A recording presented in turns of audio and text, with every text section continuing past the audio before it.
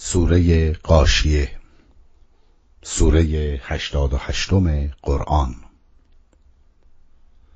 به نام خداوند بخشنده مهربان. آیا خبر فراگیر یعنی روز قیامت برای تو گفته شده؟ آن روز ادعی خار خواهند بود. تقلا می کنند و رنج می‌برند. وارد آتش سوزان جهنم می شوند و از چشمه آب جوش به آنها داده می شود غذایی غیر از خار ندارند که آنها را چاق نمی کند و گرسنگی آنها را رفع نمی کند و در آن روز افرادی شاداب هستند. از کوشش خود راضی هستند. در بهشت عالی هستند.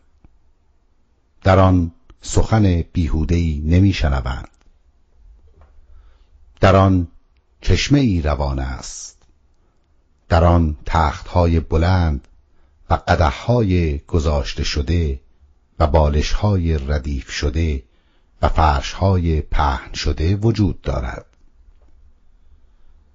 آیا به شطور نگاه نمی کنند که چطور خلق شده و به آسمان که چگونه برافراشته شده و به کوها که چگونه نصب شده و به زمین که چگونه گسترده شده. تو تذکر بده چون تو فقط تذکر دهنده ای تو بر آنها تسلطی نداری. مگر بر کسی که رو برگرداند و قبول نکرد. خدا او را عذاب بزرگی می کند برگشت آنها پیش ماست و رسیدن به حساب آنها هم وظیفه ماست.